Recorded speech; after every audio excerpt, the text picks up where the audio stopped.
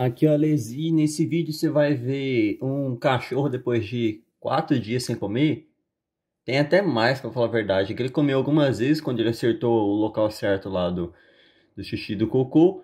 Que ele foi recompensado, ele comeu um pouco, mas se você for contar a mesa, a quantidade de dias que ele tá sem comer, ele tem mais ou menos uns sete dias que ele nunca mais comeu direito. Esse aqui é o primeiro dia, eu resolvi gravar, apesar de que gravar atrapalha muito meu treino eu resolvi gravar um pouco para ficar registrado até para futuros clientes, para eles terem uma noção como o cachorro fica tanto tempo sem comer e isso não afeta nem um pouco o cachorro e não faz ele morrer de fome igual as pessoas acham.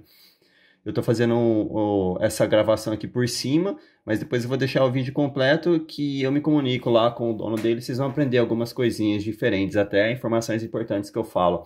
Eu utilizei o ritual da caça moderna, é um programa que eu desenvolvi, não é uma técnica, é um programa composto por diversas técnicas e é exatamente como um ritual. Porque veja só, os cães, eles são predadores. Caso você esteja chegando aqui agora no canal, esse é o primeiro vídeo que você viu, eu falo isso em diversos vídeos. Os cães, eles são predadores, eles não são petzinhos. E predadores, além de serem mestres em análise do comportamento, eles também são muito bons em manter preservados aqueles mesmos instintos relacionados à caça. Não é porque agora eles não caçam seres vivos que eles perderam essa habilidade no cérebro deles. Continua lá. É só você saber usar. E eu aprendi a utilizar depois de mais de sete anos com estudo de psicologia e prática de análise do comportamento. Eu desenvolvi esse programa chamado Ritual da Caça Moderna. Eles seguem ainda um ritual de caça, vão seguir para o resto da vida, que eles continuam sendo predadores e eles caçam para sobreviver. Só que agora a caça moderna é essa daí que está na minha mão. É a ração. Então eles continuam apresentando os mesmos comportamentos, deveriam apresentar mesmo desempenho, mas não apresentam e tá aí, ó. Um cachorro perdeu refeição mais de quatro dias seguidos, almoço e janta, almoço e janta perdendo. E você pode ver que ele não está demonstrando tanto interesse em comer. Talvez para vocês seja surpreendente, porque você está acostumado a um cachorro com baixíssima percepção de valor na ração. E só para te dar uma noção, a ração é uma das coisas mais. É uma não, vamos falar a verdade aqui. É a coisa mais importante que tem na vida do cão. O carinho ele não precisa, o cachorro pode estar sob estresse, ele pode não ter abrigo, ele tendo água e ração sendo controlada pelo dono, acabou. A liderança está no dono. E não se iluda achando que é porque você dá a ração lá em horários específicos que seu cachorro valoriza. Você só sabe se seu cachorro está valorizando a ração de verdade. Primeiro, se ele come na rua e se ele come na presença de outro cão ou de outra pessoa lá na rua, de carro, bicicleta, por aí, tudo não importa. Se ele come em qualquer lugar, ele está valorizando. E se ele come em qualquer hora. Se meia-noite você for dar almoço e janta, ele come. Se às 5 da manhã, se for dar almoço e janta, ele come. Se 7 da manhã e depois 10 da noite, você for dar um almoço em um horário e a janta no outro, ele come. Se ele não está pronto para comer em qualquer horário, ele ainda não compreendeu que ele precisa valorizar a ração.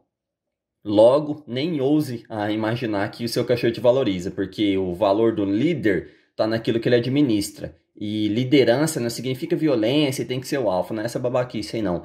Liderança é administração de recursos. Todo grupo tem seu líder, o líder é aquele que melhor administra e contém os recursos. Ração é o recurso mais importante e mais valioso que tem. Se o seu cachorro não valoriza ela, ele não valoriza você, você no máximo é uma ferramenta para dar o que ele precisa. Agora acompanha um vídeo aí na íntegra. Já são quantos dias que ele está recusando a ração? Uhum. É umas oito refeições mais ou menos que ele não tava pegando. Uhum. Aí agora, ó.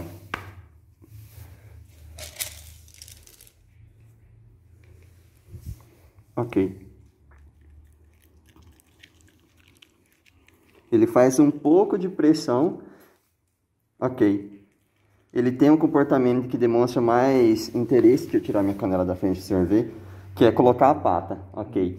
Se você coloca um obstáculo dentro do próprio obstáculo, que um obstáculo ele tem que vir até a minha mão. Se eu coloco outro que deixa a mão fechada, ó, ele pressiona, morde meu dedo, continua lambendo e tenta tirar, ok? Esse cavucar demonstra mais interesse dele.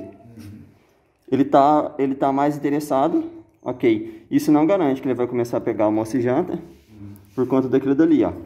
Ele ainda lambe muita ração. Quando o cachorro, ok. Exatamente. Eles comem assim, ó. Ele pega a ração e faz. e suga a ração. Ele ainda lambe muito, ele mastiga muito. Isso só quando tiver na mão para conseguir perceber. Mas isso daqui, ele não está comendo por fome ainda. Ele está começando a comer por necessidade. Porque ele sabe que se ele recusar essa janta, só vem no almoço. O que não quer dizer que ele está com fome. Quando eles estão com fome, ok, é outra história. Ó, ele tá. É, ele tá babando um pouco, ó. Tá vendo? Tá começando a ficar claro. Antes ele nem babava na mão. Agora já tá com mais endereço. O que não significa que ele vai comer toda a refeição agora daqui em diante. Ok. Mas significa que ele já começou a pegar. Significa que ele já entendeu que se ele recusar essa agora, só na próxima. Aí eu vou voltar a encher o saco dele com isso daqui, ó. Aí eu faço o seguinte, como eu tô com uma mão ocupada, porque não dá certo gravar e fazer o treino ao mesmo tempo. O que, que é isso que ele tem no beijo? Ah, é lãzinha do cobertor dele. Uma prova do crime ali, aguardado no bigode. Eu deixo o negócio que ele tinha receio. Ok, marco quando ele se aproxima e despejo tudo no chão. Porque eu vou infernizar a vida dele. Olha lá, me fala se isso daqui é coisa de quem tá com fome de verdade. Ó, ele fica recuado ali.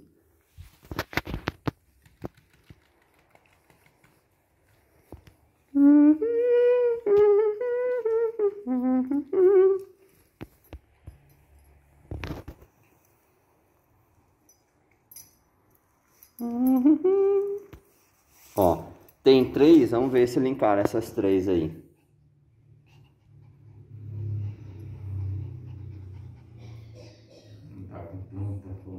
É. Eu falo, é a vontade que começou a subir. Ele não tá com fome, fome ainda. Agora que o negócio não tá na minha mão, ele vai.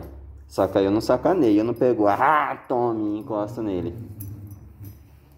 Porque ele se aproximar do objeto já é um ponto positivo.